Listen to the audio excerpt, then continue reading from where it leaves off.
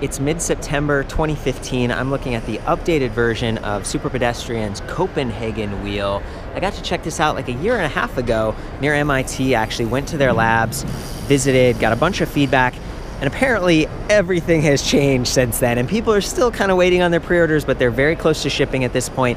It's $950 for like a limited time, and then it's going up to 1200 um, so I guess that's kind of the backstory. I want to kind of jump into how this this works with your bike. They sell the, the kind of the wheel spoked in with these really unique spokes uh, with a couple different sizes 26 inch or 28 inch that's at 700c and i gotta say it's really beautiful i think the the design of the hub is maybe even narrower than before it's magnesium on the casing right here the other one that i saw it kind of had kind of like a battery cover built onto it. This one does not. I think you'd actually have to take the screws out, these like star screws, to get at the battery pack.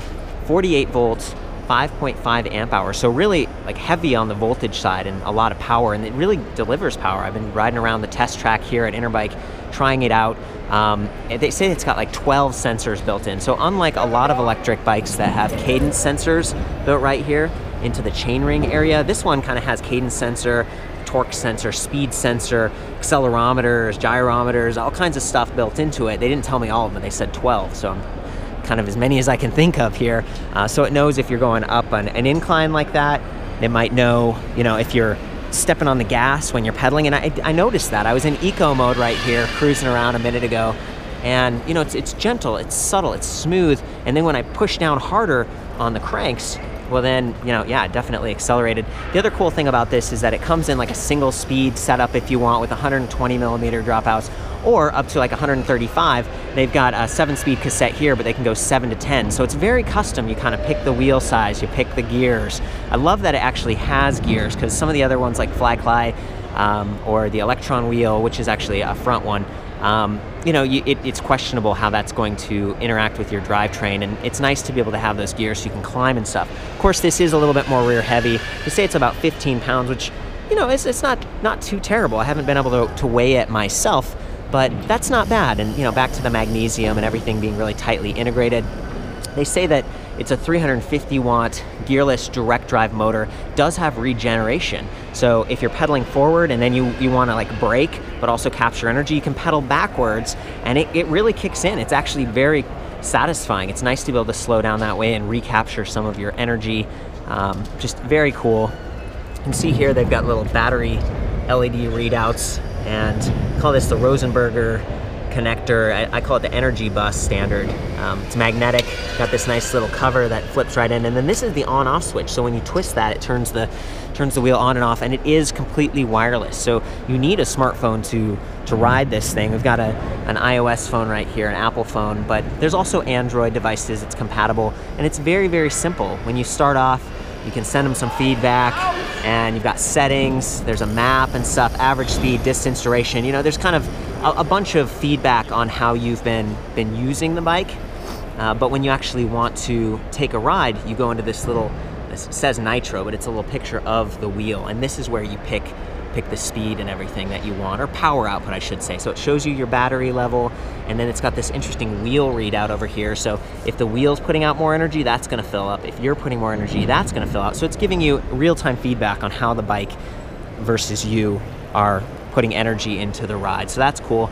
We can go all the way down from exercise, which is basically just a light regeneration mode, to off. That's just a bicycle wheel. Maybe with regen, so you could still kind of get capture some of that. I'm not sure. I should try to test that. Eco mode, so that's the lowest, standard, turbo. So turbo, of course, the most satisfying. Everyone's excited about that. 20 mile per hour top speed in the United States. Again, 350 watt rating for the United States, 250 if you're international.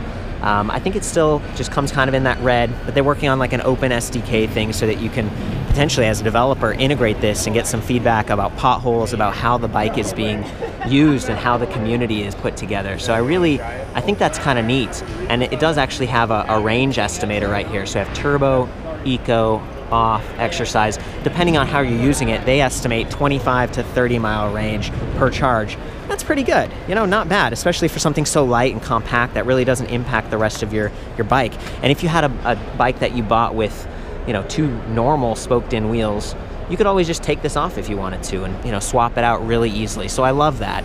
Um, just you know, all, all things worth keeping in mind. You got to supply your own fenders and lights, and it's not really integrated. You're gonna have to run your phone off of its own juice. There's there's no way to like connect the USB power to the, the batteries that are inside the hub you know a lot of electric bikes they have like a down tube mounted battery pack and you can you can run off of that with your phone and that's kind of nice because you know same with the lights. In this case you cannot. Okay so i'm pulling it out. We're to find a gap here on the test track. I'm to start out just swipe maybe actually i'm to do eco and again this thing is super quiet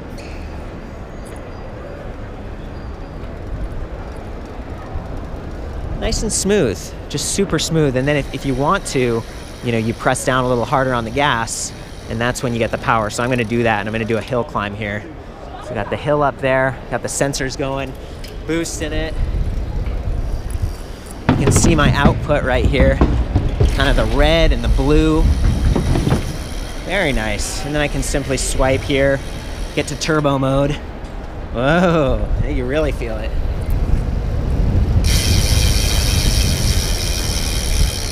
Kind of that nice ticking sound there in the background.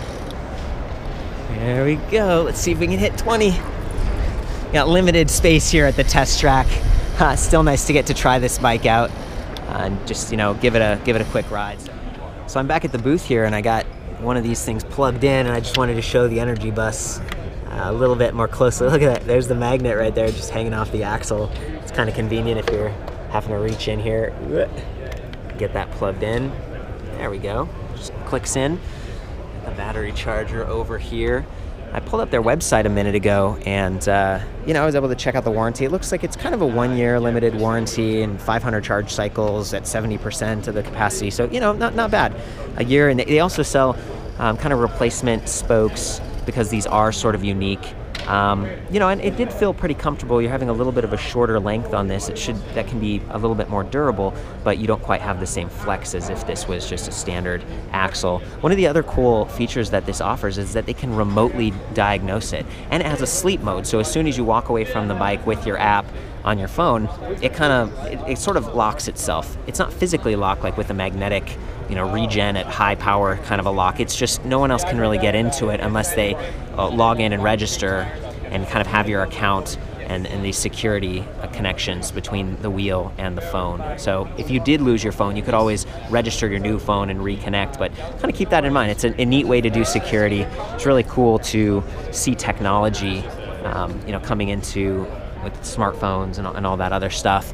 And I guess it's up to you. Um, you can you can have your own little smartphone adapter, uh, or they've got this Quad Lock kind of a, a, little mount, and it's been really nice. You can kind of swivel it. It's very minimal. Take it off if you need to. So that's cool. I think that's kind of it. Again, really affordable. They've been working on this thing. It seems like forever. Finally getting close to having a product. So that's the Superpedestrian Copenhagen wheel um, really, you know, pretty satisfying. I'm glad they're putting in the extra effort and time to get it done. Um, definitely ready to see it out there. Glad it works for both different kinds of smartphones. For the full write up on this and uh, some pictures and specs and comments and stuff, I'll see you back at electricbikereview.com. Ride safe.